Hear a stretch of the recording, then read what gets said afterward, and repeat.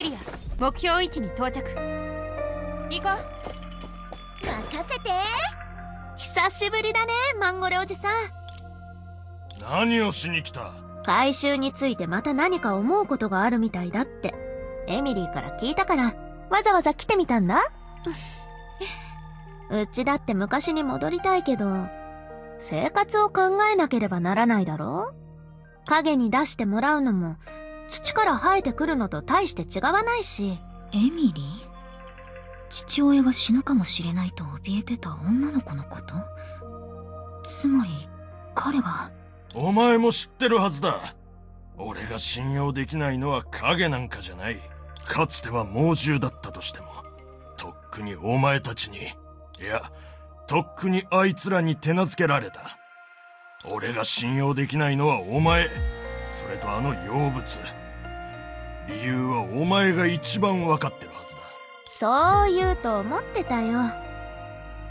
ほら今日は信用できる友達を連れてきた。夢追い人あんたの番だよ。え言っただろ？あんたが持ってる放棄はだいぶ鈍いけどそれでも器具に近い方なんだ。少し頑張ってみたら回収を行えるはず。もうこんなことになったんだしいっそやってみたらどう？人助けはさておき面白い点は他にもあるんだ。なんだ？ペテン師も弟子を取るようになったのか。数年前はまだ軽率には伝授できないと言ってたくせに。これもお年寄りのためにしたことだよ。多分その方が誰かに代わりに働いてもらえるからでしょ人聞きが悪いな。安心して。これから回収を気に入るようになるかもしれないよ。じゃあこれからは夢追い人と仲良くしてればもう食べ物に困らずに済むってことだよね。でも私どうすればいいかわからないよ。うちがいるじゃないか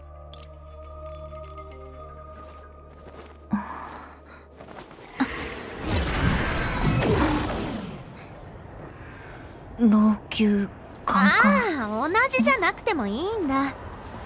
不潔なんてただのお飾り。ほらできただろ？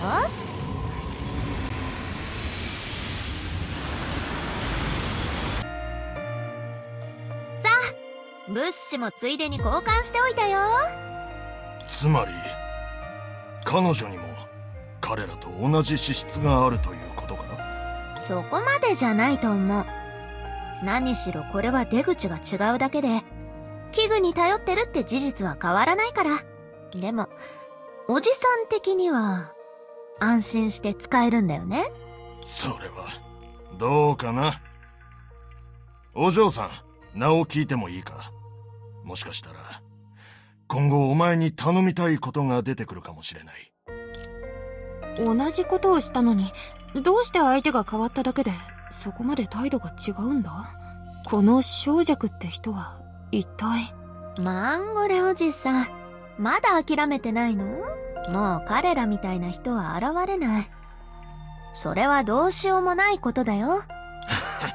もう何も言わなくていい。俺は何があってもお前たちみたいに他人の死体の上で安心して暮らしてはいけない。彼らもかつては人だっただからきっと彼らになる人もまた出てくるはずだ。しかもこれはその件とあまり関係がない。とにかく彼女が持ってるものこそが器具と呼べる。お前が頼りにしてる妖物は。おっとうちったらまだ休養があるんだった。マンゴレおじさんうちはこれで失礼するよ。ちゃんと食べてね。ささ早く行こう。何年も経ったのにマンゴレおじさんの性格は全然変わらないな。それで彼は一体どうしたの？他の誰かの話もしてたみたいだけど。別に隠すつもりはないけど話すと結構長くなる。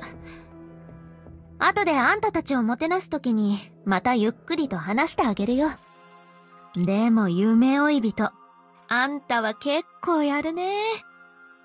うちが初めて器具を手に入れた時、あんたほどうまくは使えなかった。もしかしたら、すぐにうちみたいな老朽の有名人になれるかもしれないよ。そうしたら、うちの責任も軽くなるし、あんたにも利点がある。まさに一石二鳥ってところだね。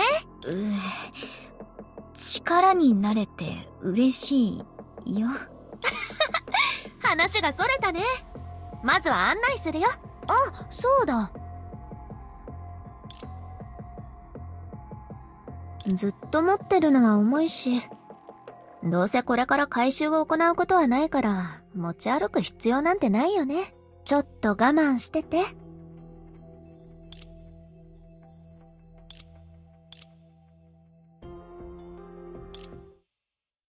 出発しよう。